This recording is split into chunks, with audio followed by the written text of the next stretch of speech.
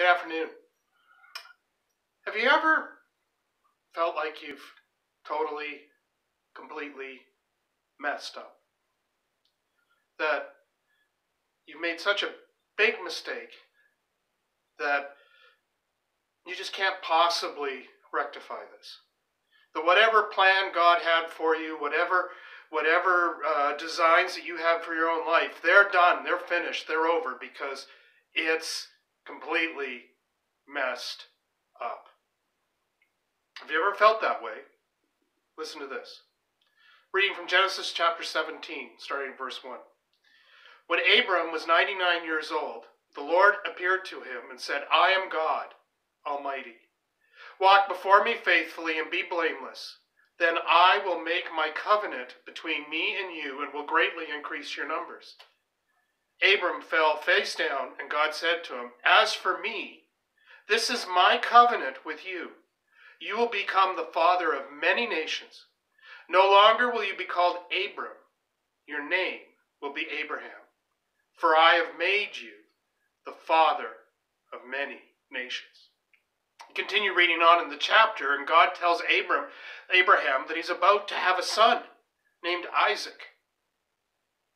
And that, that all the promises that God has given him will go through him, through Isaac, and on to his children.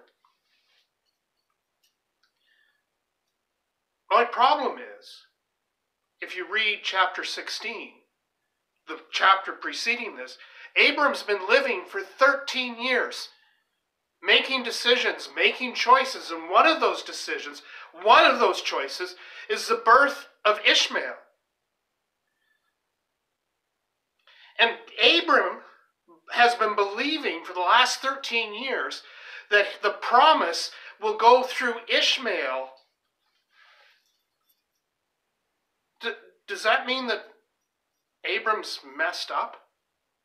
Completely knocked himself out of the will of God?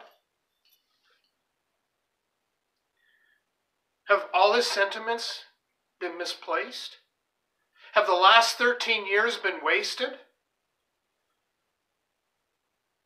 The answer is no. Even though there are times when the choices that you and I make that we think will bring solutions to our life and, and uh, ultimately end up being obstacles that we have to overcome, that does not mean that it's been wasted. You see, with God, there are no dead ends, there are only learning opportunities. They're only training grounds. God never wastes our experiences. You see, too often we think of God's plan for us as this straight line, you know, kind of like driving from Thunder Bay to Vancouver. You get on the Trans Canada Highway, head out of town, and you stay on it. Don't turn off the highway, don't leave the highway, and if you stay on it, you're going to end up in Vancouver. Any turn to the left or the right from God's plan, from the straight line from here to where I'm going, is a deviation or a pitfall. It would be better to think of it this way. John Walton writes It's more helpful to think of our lives as a complicated model train set in the basement with inside tracks and outside tracks and many crisscrossing tracks. It doesn't matter whether we're on the inside or the outside or cutting across. Sometimes we may feel that we're going in circles, which is okay as long as we don't derail. Our goal is not to get somewhere, but to serve. We must remember that we're on the rails, but God is at the switch. What is most important about our faith is not where we are going, but what we are becoming. There are a lot of times when we say to ourselves to pump ourselves up, nothing is too difficult for God. Is anything too hard for God? And that's true. Nothing is too hard for God. But we need to be careful what hard thing we think God's going to do.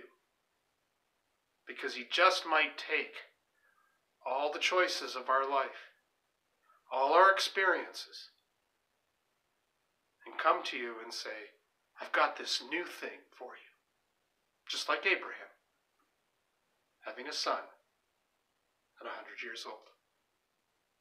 Have a great day.